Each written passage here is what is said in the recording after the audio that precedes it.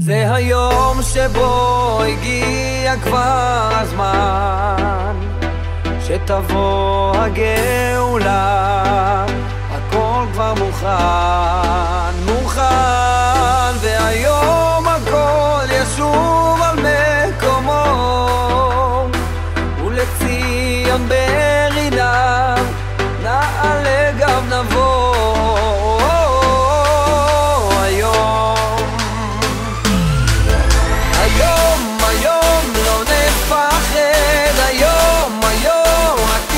נתאחד היום זה יום שמתגשם חלום, חלום.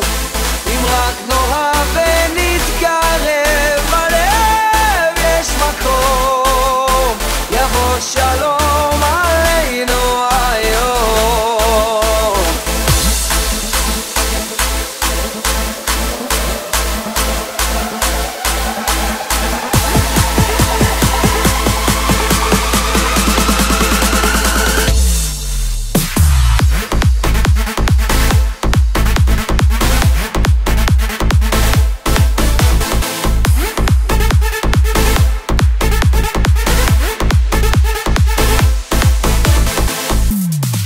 מה נשאר לנו?